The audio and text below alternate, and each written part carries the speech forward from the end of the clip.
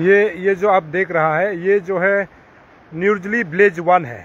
अगर इसका लोकेशन अगर हम लोग बात करेंगे तो दोमुख की ओर जब आप जाते हैं तो हुटो इंग्लिश स्कूल है, जस्ट उसका अपोजिट साइड से ये घुसता है। तो इन लोगों का शिकायत ये था कि जो अभी तक डीसी के तरफ़ से, यानी डिस्ट्रिक्ट एडमिनिस्ट्रेशन के तरफ़ से, कोई भी यहाँ पर जो है देखने के लिए अभी तक रिलीफ के लिए मतलब कोई नहीं भेजा गया है। तो हमें खबर मिला तो हम अभी यहाँ पर पहुँचे हुए हैं और यहाँ का जो ग्राउंड ग्राउंड जो हकीकत है, आप तक हम पहुँचाने की कोशिश कर रहे हैं। ये जो नदी आप देख रहा है, ये दिक्रोंग नदी है। जैसे आप देखेंगे, ये दिक्रोंग नदी है।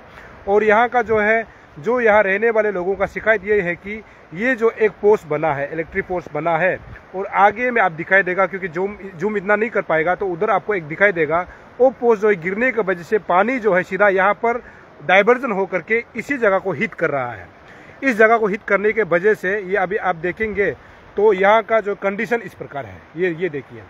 तो यहाँ का जो है ज़मीन का जो मालिक जो है, उन्होंने अभी डीसी कैपिटल को जो यहाँ का वीडियो बना के फ़ोटोज़ बना के भेज दिया है, लेकिन रिलीफ के लिए अभी तक मतलब डिस्ट्रिक्ट जो डिस्ट्रिक्ट जो रजिस्टर मैनेजमेंट ऑफिसर की तरफ़ से अभी तक यहाँ पर किसी स्टाफ को यहाँ पर भेजा नहीं गया है।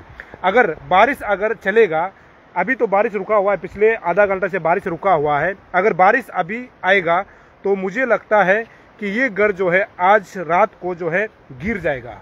क्योंकि आप देखेंगे, ये रोड है एक समय, इसी रोड से जो है, ये लोग अंदर घुसते थे और यहाँ से होकर के ये घर जो आप देख रहा है ना, ये बहुत डेंजर में है अभी। ये कभी भी मतलब गिर सकता है। ये आप देखेंगे तो ये नदी है, जो जहाँ पे मैं अभी खड़ा हूँ, आप देख सकते हैं, क्योंकि ये एक समय रोड हुआ करता था और यहाँ का ज़मीन मालिक का भी ये कहना है कि ये जो प्रोटेक्शन वाल जो आप देख रहा है, ये प्रोटेक्शन वाल जो है, खुद बनवाया है। और ये कोई सरकार का, किसी तरह प्रकार का मतलब सेंक्शन नहीं है, खुद बनाया था, लेकिन वहाँ जो पानी को डाइवर्जन करने की वजह से ये हुआ है, ऐसे यहाँ का जो मालिक का ओनर का कहना है। अगर वो नहीं होता तो आज ये शायद ये इतना डेंजर नहीं होता। जिस रोड का हम ज़िक्र कराइए, आप रोड देखेंगे, यहाँ से होकर के ये रोड जो है अंदर की ओर जाता है। यहाँ आप जाएँगे, यहाँ से होकर के ये रोड जो है इस इस अंदर, यहाँ जाता है।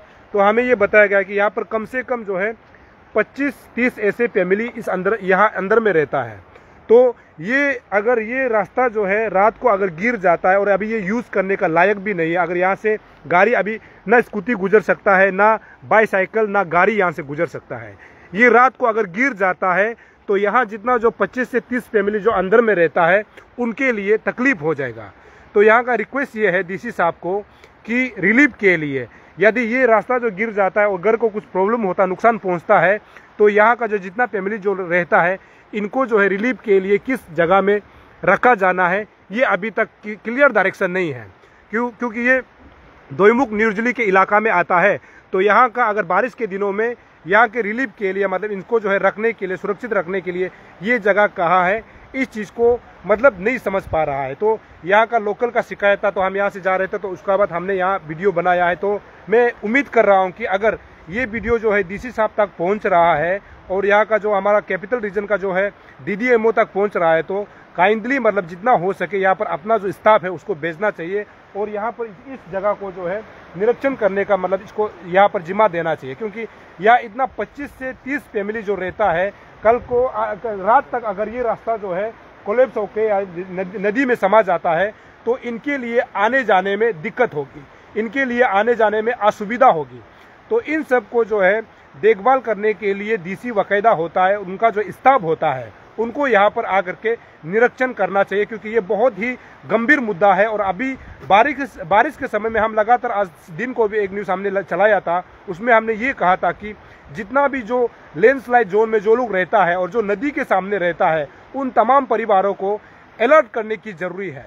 और ये जो कहाँ से होता है, ये डीसी के तरफ़ से होता है। और यहाँ पर एनडीआरएफ होगा एसडीआरएफ होगा, उन लोगों को भी ऐसे जो, जहाँ पर जो है मतलब पानी कभी भी मतलब घर को ले जा सकता है, ऐसे जगह में तैनात करना चाहिए। और आपको पता है कि पिछले कई दिनों से बारिश हो रहा है। तो इस लिहाज से जो है, दिक्रों के किनारे में जो लोग रहता है, या फिर अलग अलग नदी के किनारे में जो लोग रहता है, अलर्ट जारी करना चाहिए, ताकि पता चले कि उन लोगों को आने वाला समय में नुकसान ना हो। अगर कुछ गड़बड़ भी हो जाता है, कुछ इंसिडेंट भी हो जाता है तो सरकार की तरफ़ से मदद के लिए जल्दी मतलब मुहैया कराया जाना चाहिए। और ये लोगों का शिकायत था तो अभी हम लोग यहाँ पहुँचे थे, आपको हमने कोशिश किया है कि यहाँ का जो अपडेट को देने के लिए, और मैं उम्मीद करता हूँ कि डीसी इसको संज्ञान में लेते हुए अपना स्टाफ को यहाँ भेजेंगे और यहाँ का जो है ग्राउंड रियलिटी को जानेंगे, ऐसे में उम्मीद करता हूँ। ये मैं बार बार इस चीज़ को दिखाने की कोशिश कर रहा हूँ कि जो अभी एग्जैक्ट नज़ारा है, जैसे आपको अभी आप स्क्रीन में देख रहे हैं, ये है। यहाँ का हालत इतना ख़राब है कि ये कभी भी गिर सकता है। और ये जब हम आए थे, यहाँ पर थोड़ा सा फटा हुआ था, लेकिन अभी धीरे धीरे जो और ज़्यादा फट रहा है तो आप देख सकते हैं, ये वॉल का कुछ हिस्सा जो है, गिर गया है, ये आपको हम दिखाने के लिए कोशिश कर रहे हैं।